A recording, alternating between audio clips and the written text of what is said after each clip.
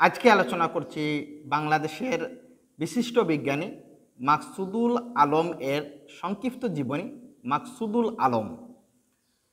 ছিলেন একজন বাংলাদেশি জিন তত্ত্ববিদ তার নেতৃত্বে ঢাকা বিশ্ববিদ্যালয়, বাংলাদেশ পাট গবেষণা ইনস্টিটিউট ও তথ্য প্রযুক্তি প্রতিষ্ঠান ডাটাসফটের একদল গবেষকের যৌথ প্রচেষ্টায় দুই হাজার দশ সালের মাঝামাঝি সময়ে সফলভাবে উন্মোচিত হয় পাঠের জিন নকশা।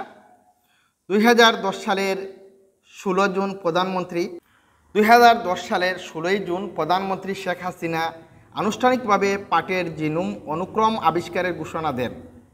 মাকসুদুল আলমের শৈশব, মাকসুদুল আলম ফরিদপুরে উনিশশো চুয়ান্ন সালের চোদ্দোই ডিসেম্বর জন্মগ্রহণ করেন। তার পিতা দলিলুদ্দিন আহমেদ ছিলেন তৎকালীন পূর্ব পাকিস্তান রাইফেলসের, অর্থাৎ ইপিআর এর একজন কর্মকর্তা এবং তার মা লিরিয়ান আহমেদ একজন সমাজকর্মী ও শিক্ষিকা ছিলেন। উনিশশো একাত্তর সালে বাংলাদেশের স্বাধীনতা যুদ্ধে পিতা শহীদ হলে পরিবারের দায়িত্ব এসে পড়ে মা লিরিয়ান আহমেদের উপর শিক্ষকতা করে তিনি তার চার ছেলে ও চার মেয়েকে গড়ে তোলেন। মাকসুদুল আলম তার কনিষ্ঠ ব্রাতা মাহবুবুল আলম ও বন্ধু জুনায়দ শফিককে নিয়ে গড়ে তোলেন অনুসন্ধানী বিজ্ঞান ক্লাব। ক্লাবের কাজ ছিল মূলত গাছ পর্যবেক্ষণ, গাছের চারা লাগানো এবং পাতা সংগ্রহ। গাছের পাতা অ্যালবামে সাজিয়ে বই দেখে দেখে বের করতেন গাছগুলোর বৈজ্ঞানিক নাম। মাকসুদুল আলমের শিক্ষা জীবন গভর্নমেন্ট ল্যাবরেটরি হাই স্কুল থেকে মাধ্যমিক এবং ঢাকা কলেজ থেকে উচ্চ মাধ্যমিক পাশ করেন তিনি। মাধ্যমিক পাশ করে স্বাধীনতার পর মাকসুদুল আলম চলে যান রাশিয়ায়। সেখানে মস্কো পস্কো, গুসুদারস্তেপ নেই, ইউনিভার্সিটি এট ইমিনে, মস্কো রাষ্ট্রীয় বিশ্ববিদ্যালয় থেকে অনুপ্রাণবিজ্ঞানে স্নাতক, স্নাতকোত্তর উনিশশো উনআশি সালে ও পিএইচডি উনিশশো বিরাশি সালে সম্পন্ন করেন।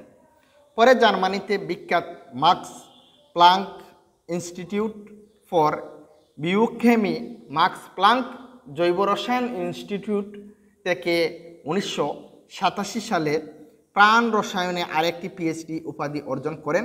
মস্কোতে মাকসুদুল ভ্লাদিমির পেত্রুবিচ মুলাচেবের সংস্পর্শে আসেন। পেত্রুবিচের প্রাণ রসায়নের নানা শাখায় অবদান রয়েছে, অর্থাৎ পেত্রুবিচ প্রাণ রসায়নের বিভিন্ন শাখায় বহু রকমের অবদান রেখেছেন। মাকসুদুলের কর্মজীবন জার্মানিতে তিনি কাজ করার সুযোগ পান। প্রাণ রসায়নের ডিটার ওস্টাহ্যান্ড হেইজেল বাওয়াদের সঙ্গে জার্মানির পর তিনি যুক্তরাষ্ট্রে হাওয়াই বিশ্ববিদ্যালয়ে সামুদ্রিক জীবপণ্য প্রকৌশল কেন্দ্রে সহকারী পরিচালক হিসেবে যোগ দেন।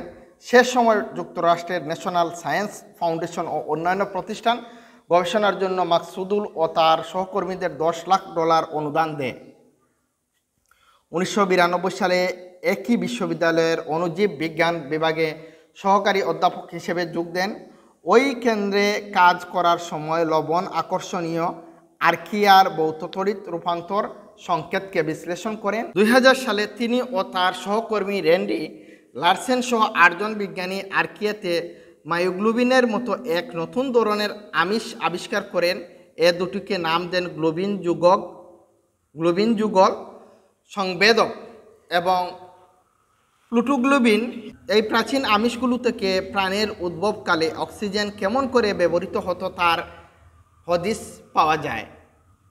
ন্যাশনাল সায়েন্স ফাউন্ডেশন ও হাওয়াই বিশ্ববিদ্যালয়ের সামুদ্রিক জীবপণ্য প্রকৌশল কেন্দ্রের উদ্যোগে পরিচালিত অণুজীব বৈচিত্র্য অনুসন্ধান পর্বে হাওয়াই দ্বীপপুঞ্জ লৌহি নামক সমুদ্রগর্ভ, আগ্নেয়গিরি এবং নিউজিল্যান্ডের জলতাপীয় এলাকা পরিবীক্ষণ করে বেশ কিছু প্রজাতির অনুজীব আবিষ্কার করেন। যা ছিল তদ পরিপার্শ্বিক জনবসতির বসবাসের কায়দা সম্পর্কে জানতে খুবই সহায়ক। এ আবিষ্কারের সুবাদে মাকসুদের খ্যাতি ও দক্ষতা সবার নজরে আসে। উনিশশো দুই সাল থেকে মৃত্যুর আগ পর্যন্ত হাওয়াই বিশ্ববিদ্যালয়ের অধ্যাপক হিসাবে কাজ করে যান। দুই হাজার তিন সালে তিনি হাওয়াই বিশ্ববিদ্যালয়ে বংশাণু সমগ্র বিজ্ঞান, প্রোটিন সমগ্র বিজ্ঞান ও জৈবতত্ত্ব বিজ্ঞানে অগ্রসর গবেষণা কেন্দ্র প্রতিষ্ঠা করেন, যার ফলশ্রুতিতে হাওয়াইয়ান পেপের জিনুম অনুক্রম বের করা হয়। এ কাজ সম্পন্ন করার পর বিজ্ঞান সাময়িকী নেচারের পচ্ছদে স্থান পান তিনি। বংশানুগতভাবে পরিবর্তিত এই পেপের জিন নকশা উন্মোচনের পর তিনি পাটের জিন নকশা উন্মোচনের কথা ভেবেছিলেন। সে সময় কয়েকবার বাংলাদেশেও এসেছিলেন তিনি, কিন্তু তার ডাক পড়ে মালয়েশিয়ায়। রাবার গাছের জিন নকশা উন্মোচনের জন্য ওই কাজেও তিনি সফল হন। পরে দুই হাজার নয় সাল থেকে তিনি মনোনিবেশ করেন। তুষা পাঠের জিন নকশা উন্মোচনে নেতৃত্বদানে পাঠের বেশ জোড়া একশো বিশ কোটি এরা কোন অনুক্রমে আছে তা এই আবিষ্কারের ফলে জানা গেছে। এর সুফল হিসাবে মিহি আশের পাঠ, শীতকালীন পাঠ, সহজ পচনশীল পাঠ, পোকা প্রতিরোধী পাঠ, ঔষধি পাঠ, তুলার মতন শক্ত আশের পাঠ প্রভৃতি উদ্ভাবন করা সহজ হবে। দু হাজার বারো সালে পাঠের জন্য ক্ষতিকর ছত্রাক মাইক্রোফোমিনা ফেইজলিনার জিনুম অনুক্রম উদ্ভাবনে বাংলাদেশের একটি গবেষণা দলের নেতৃত্ব দেন মাকসুদুল আলম। একক ও যৌথভাবে বিভিন্ন গবেষণা কর্ম তিনি বংশানুগতভাবে পরিবর্তিত কারিকা পাপায়া, লিনিয়াস বা পেপের খসড়া বংশানুক্রম আবিষ্কার করেন দুই হাজার আট সালে। বংশানুক্রমের অনুক্রম বিশ্লেষণ proceedings of the National Academy of সায়েন্সে তা করেন দুই হাজার সালে, অর্থাৎ আমেরিকার ন্যাশনাল একাডেমি অফ সায়েন্সে রাবার গাছ এবিয়া ব্রালিজিয়েন্সিস এর খসড়া সম্পূর্ণ বংশানুক্রম, অনুক্রম নির্ণয় করেন দুই হাজার তেরো সালে। নিউজিল্যান্ডের বুতাপিও মৃত্তিকা থেকে একটি প্রার্থী বিভাগসহ নতুন ব্যাকটেরিয়া পৃথকীকরণ করেন দুই হাজার আট সালে যেটিকে মাইক্রোবায়োলজি বা এনভায়রনমেন্টাল মাইক্রোবায়োলজি বলা হয়, বদের হাতিয়ার মাইক্রোফুমিনা ফেইজলিনা নামক অন্যতম দংশী উদ্ভিদ রোগ সংক্রামকের বংশানুক্রমক বিশ্লেষণ করেন দুই হাজার বারো সালে। অর্থাৎ এই বাঙালি এবং বাংলাদেশি বিজ্ঞানীর বিশেষ অবদান রয়েছে বিভিন্ন ক্ষেত্রে।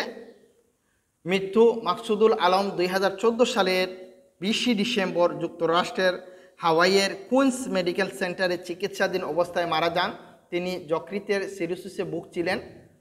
স্বীকৃতি বাংলাদেশ সরকার তার অবদানের জন্য দুই হাজার ষোলো সালে মরণোত্তর স্বাধীনতা পদক প্রদান করে। এই মহান বিজ্ঞানী এই মহান বিজ্ঞানী নিজের পরিচিতির সাথে সাথে বাংলাদেশের মুখ উজ্জ্বল করেছেন এবং পৃথিবীতে অবিস্মরণীয় হয়ে আছেন তার বিজ্ঞান কর্ম তার আবিষ্কার কর্ম দ্বারা।